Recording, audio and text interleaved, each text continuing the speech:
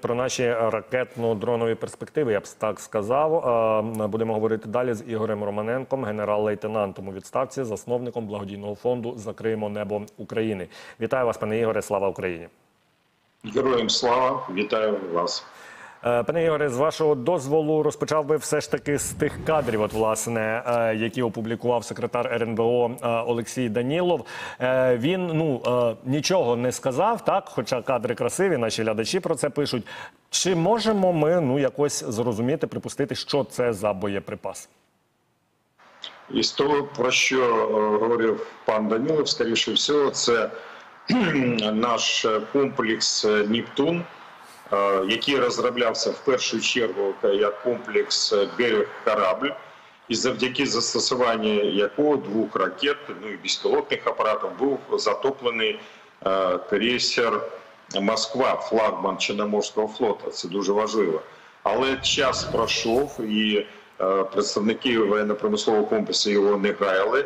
Вони доробляли, модернізували цей комплекс е, в напрямку того, щоб переробити, е, щоб надати йому спроможності е, наносити удари по наземним об'єктам. Так, е, десь пропало в нас пропало відео. Не знаю, чи є на зв'язку пан Ігор Романенко, чи якщо ні, давайте його будемо е, перенабирати. Е, Пане Ігоре, ви чуєте мене? Так, перенабираємо зараз е, е, Ігора Романенка. Ну, от, власне, питання насправді стоїть в тому, е, дійсно, наскільки, скажімо, навіть якщо це е, оцей комплекс, про який сказав мій співрозмовник, комплекс Немптун, е, той комплекс, яким було потоплено по факту. Крейсер Москва.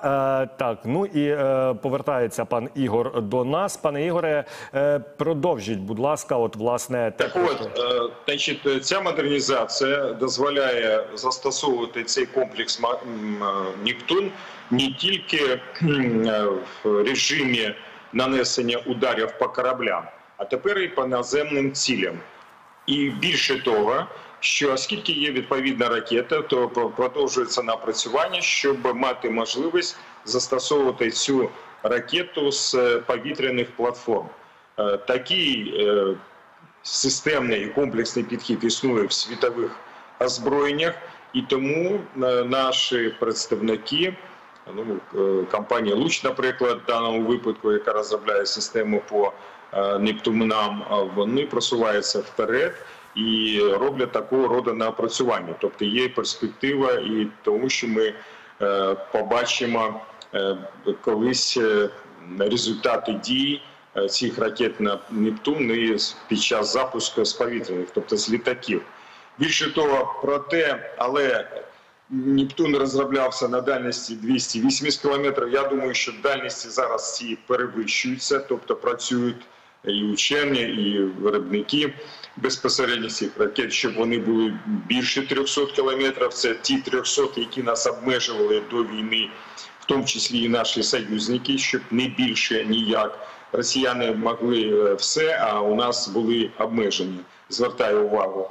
Так от е, і тому зрозуміло, що президент, який зробив заяву, що ми е, у нас є ракетна зброя, яка завершується іспит по бойовому, тобто наносяться удари безпосередньо по цілям ворога.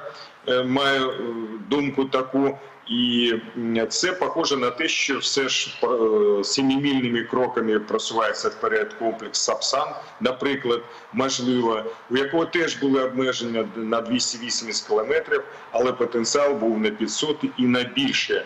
Але треба було просуватися вперед. Але представники п'ятої колони у нас в Україні в різних структурах цьому заважали, це руйнували. Ну, незважаючи на це, справа просунулась і зброя на 700 кілометрів. А 700 кілометрів це майже Москва. Е, Там не вистачає для Пскова, але ж поки ще ми нарощуємо свої можливості ракетні, е, все більше будемо застосовувати безпілотне ударне. Е, І це ми бачимо за останні декілька діб наносились удари і по аеродромам, і по заводам, які виробляють е, е, комплектуючі, і по об'єктам території окупованого Криму, тобто розширяється географія, підвищується дальність і збільшується кількість з нашого боку застосування цих ударних повітряних засобів. Пане Ігоре, а якщо знову ж таки апелювати до, е, ну, до, до стилістики, так би мовити, висловлювань Олексія Данілова, так, який от процитував цю пісню гурту Любе, улюбленого гурту Путіна ждет Севастополь, ждет Камчатка, ждет Кронштадт. Тут просто варто зауважити, що від українського кордону до, а, там, до того ж Кронштадту там а, близько 1600 кілометрів, до Камчатки майже 7 тисяч. Чи можна цей, е, цю фразу Данілова сприймати як певний, скажімо, натяк на те, що в нас може з'явитись зброя, здатна долітати, от, ну, власне, на такі аж відстані? Чи це ну, просто так, на вашу думку, до слова, так би мовити, прийшлося? Подивіться, перед війною, там, коли намагався боротися з, Кабіївськими інформаційними тут е, потоками і впливом, я йому говорив про те, що ми розробляємо на той час. Ми проводили іспити Нептуна. І з говорила про те, що з чим ви можете там папірами закидати нас, про які розмови, про які комплекси. А я приймав участь в іспитах на полігонах цього комплексу. Було видно, я сказав, ви дочекаєтесь, чи ви, чи будь-який ворог, що у нас буде зброя, яка буде діставати і до Москви, і до Санкт-Петербургу, і е, наше завдання ну по цілям воєнним, наприклад, до Урала, обов'язково треба розробляти. А далі е, подивимося, можливо, далі і буде. Ну після цього там засвістували, захлопали все таке інше, але зажовували. Тобто можна згадати це і реалізуються наші плани, наші підходи, наша зброя, і це дуже важливо в зв'язку з тим, що союзники наполягають на тому, що їх зброя по е, поки ще. Я це підкреслюю по об'єктам на території Російської Федерації застосовувати е, не треба, і ми це не робимо. Але ми розробляємо свою і застосовуємо там, де вважаємо за доцільне, там, де і коли вважаємо за доцільне.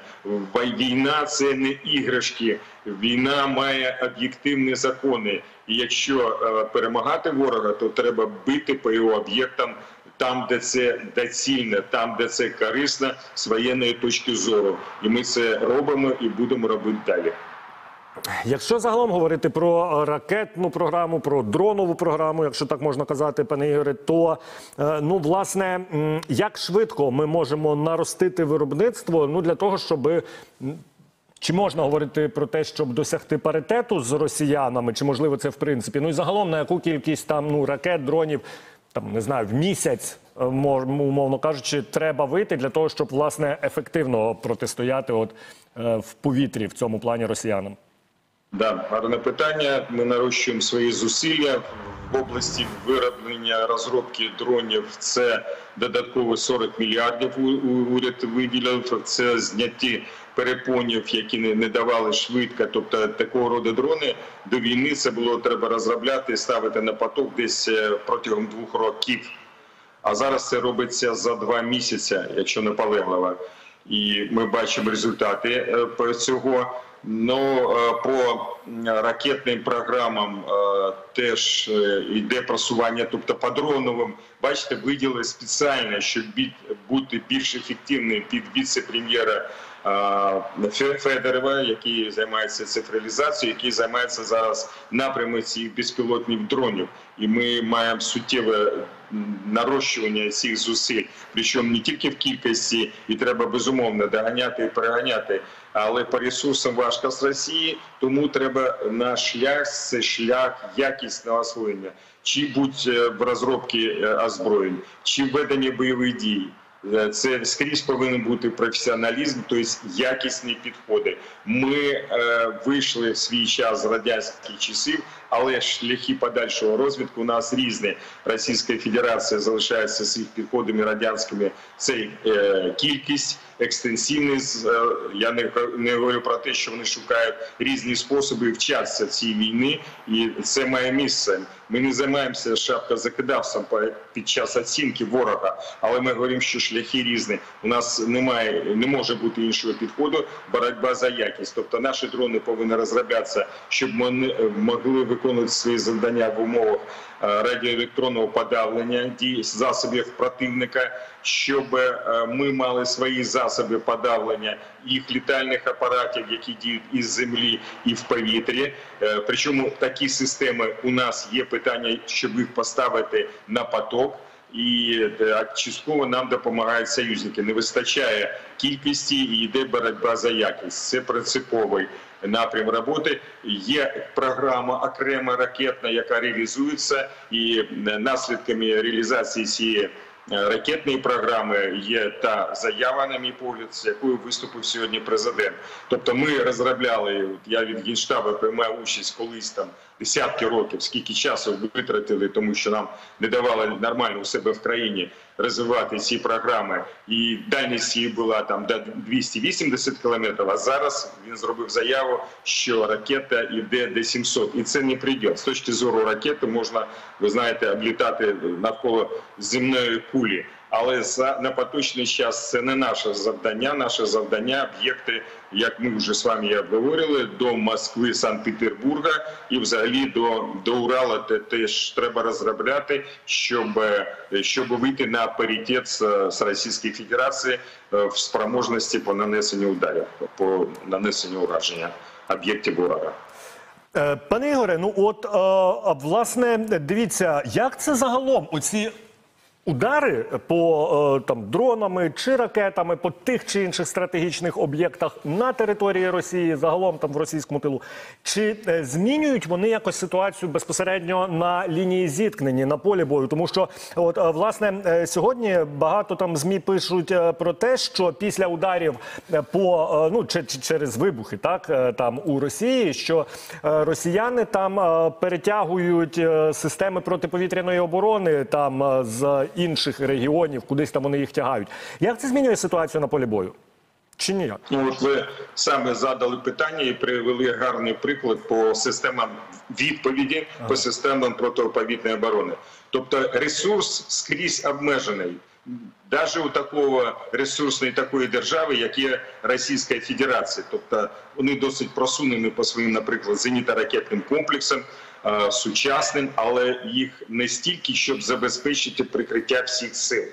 І якщо вони зосереджували свою увагу на прикриття своїх об'єктів в Криму, на півдні, в лінії ведення інтенсивних бойових дій, тобто на фронті, то в зв'язку з тим, що наносяться удари по об'єктам фактично по всім прикордонним з Україною областям Російської Федерації і діється на відстані по їх столицям Москві і Санкт-Петербургу, то вони вимушені шукати десь засоби щоб прикривати ці об'єкти. І тому наступає, так сказати, е, ситуація з їх дія їх прислів'я трішкін кафтан, що в одному місці відриваємо латку, е, на е, диру зашиваємо, потім виникла нова потреба, тут відриваємо і так далі. Тобто швидко зробити чи е, відкілясь отримати стільки засобів, щоб закрити е, всі об'єкти країни, нема можливості у жодної країни світу.